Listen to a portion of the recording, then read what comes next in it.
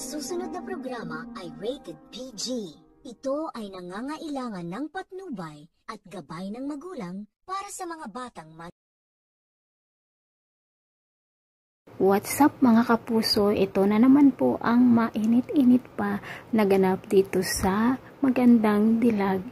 Nag-usap nga sila uh, Gigi at ang attorney nito at sinabi na mag-ingat siya sa kanyang asawa at pati na rin sa mga kaibigan ng kanyang asawa ngunit sinagot lamang po ni Gigi na sinisiraan lamang ni attorney ang kanyang asawa pati na rin ang mga kaibigan nito. Sinagot naman ng attorney na nag-aalala lamang at very concerned siya dito kay Gigi dahilan nga alam nila na pera lamang ang habol ni Jared kay Gigi. Samantala, nagkakatuwaan naman ang Elaine Squad at habang nagtatagayan sila nagkukwentuhan ay sinabi nila na malapit na nilang makuha lahat ang pera ni Gigi.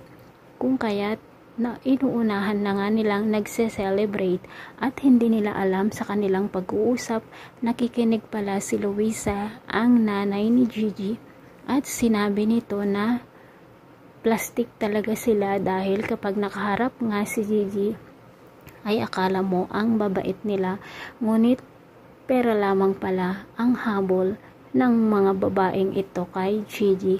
Kung kaya't Siguro dahil sa pangyayaring ito ay uh, mapapahamak si Luisa at kahit nga magsumbong siya kay Gigi na pera lamang ang habol ni Jared pati na rin ang mga kaibigan nito ay hindi maniniwala si Gigi dahilan nga sa talagang uh, nalason na siya ng pag-ibig niya dito kay Jared. Dahil si Jared lamang ngayon ang pinaniniwalaan ni Gigi. At kahit nasabihin pa ni Luisa ang tungkol sa kanyang narinig na pinag-uusapan ng Elaine Squad, ay siguradong hindi maniniwala si Gigi. Ay nako Gigi, dahil talaga sa pag-ibig ay napakatanga mo na at talaga namang pong yung puso mo na lamang ang iyong sinusunod at hindi mo na pinapakinggan ang iyong nanay Luisa pati na rin si attorney na talaga namang nagmamalasakit at nagmamahal sa iyo. So yan lamang po ang aking update for today. So sana naman tuluyan ng makonsensyo itong si Charit upang tigilan na nga ang mga kalukuhang ginagawa dito kay Gigi. Dahil nga may kalaguyo naman itong si Jared. Ngunit kahit naman po makonsensya siya ay nandyan ang Elaine Squad na magpapatigas ng kanyang isipan.